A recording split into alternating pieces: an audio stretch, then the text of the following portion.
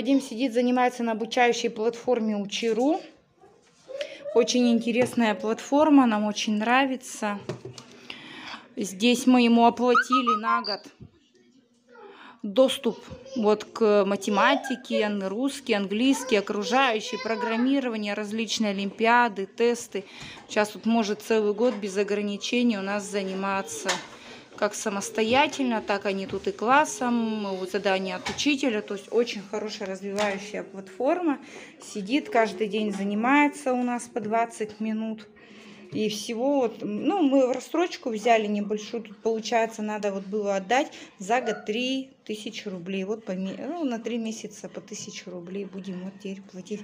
Зато ребенок у нас вот всегда в пределе, всегда в марафонах, дипломы, олимпиады. Хороший очень. Месте. Ваш класс сейчас на третьем месте, да, да в марафоне? А в прошлом году мы были на втором, а позапрошлом на первом. Ага, а, на, а ты на каком месте сейчас у нас? Я сейчас на двадцатом. Ты, ну, надо, позанимаемся немножко и будем уже в десятке лидеров, я думаю, к концу марафона мы войдем. Сварила 7-литровую кастрюлю компота из кураги и изюма. Следующий раз э, буду варить, э, хочу добавить сюда еще чернослив. Компот очень вкусный, сладкий. И пойдем сейчас тряпать блинчики. Дорогие друзья, сели провожать масленицу.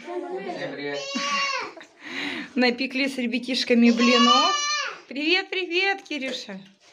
Да, у нас к блинчикам варенье бабушкина, сметанка. И сегодня провожаем широкую масленицу с красной коркой.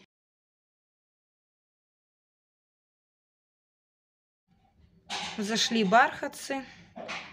Убрала сверху пленку, теперь уже без пленочки будут стоять на солнышке, расти и напитываться светом солнечным. Потом, когда уже нормальная будет рассада, отнесем в школу. Пальцы скользкие. Слава чинит. Кран у нас течет, капает. А то так, если неаккуратно закрываешь, потом будет всю ночь капать. Поэтому не зря я говорю, что у меня на все руки мастер-муж. И в электрике, и в сантехнике, и по строительству. Нас за папой, как за каменной стеной. Пока Кирюшка у меня спит, села заниматься шитьем. Хочу обновить свои полотенца на кухне. Уже нарезала ткань. О, красивая гжель. Старые полотенчики выкинула. Ну, полотенца будут небольшие. Хочу еще петельки им приделать, чтобы удобнее было на крючок вешать. Да, Анютки вон джинсы. Натальи хорошо, по бедрам хорошо, по длине короткие. Хочу из них бриджики сделать. Потом она в садик одевать. И Илюшкины штаны, тоже джинсы, разошлись немного по шву. Надо тоже будет это, зашить. Тоже в садик ходить. Я, конечно, швея непрофессиональная. Как могу, так и шью.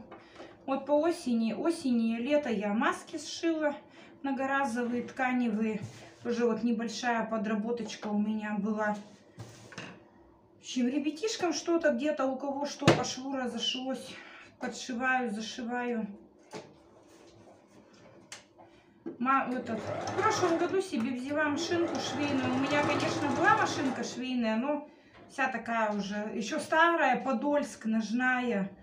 Я, конечно, на ней шила, ну, сколько смогла, потому что потом уже совсем она перестала у меня работать.